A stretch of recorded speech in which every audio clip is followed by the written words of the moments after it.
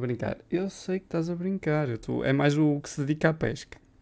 Porque é a primeira vez que ele está a falar no chat, o Pushing. Ele pode não saber que isto é tanga.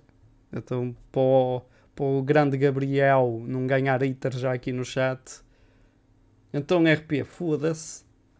Mas Vou vocês não foder. imaginam a pressão psicológica aqui. Mano, este homem. ah, este homem tem que 22 ou 23 anos. Como é que é possível? Eu tenho 30, mano. Para esse filho dele, mano. É, Eu sei, tens algum pronto. conhecimento na internet, é, toda a Ainda namoras com a ti, tichinha, sim, sim. mensagens, É muita coisa em cima de ti. E eu, pronto, não estava preparado para isso. Explodi, fervei pouca água, tive atitudes que não são corretas.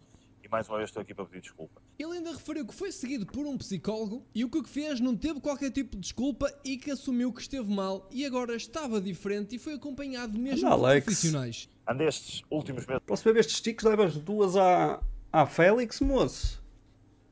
Ah, caralho, passa as tatuagens do olho direito para o esquerdo, moço. a ser Não te metas comigo, mano. E não é para me desculpar, não, mas melhorei e estou feliz por isso. E Então quero iniciar aqui no canal uma nova etapa. Pá, daqueles vídeos, aquelas pranks incríveis que eu fazia. Então Pareces um padre. vamos ter o Alex Maromba de volta que fazia aquelas pranks antigas que viralizaram no YouTube? Tens 30? Não, eu tenho 29. Mas tipo, é fixe dizer 30, porque, mano, já sou mais 30, mano. Quando é que vais a... Olha outro, olha outro cromo.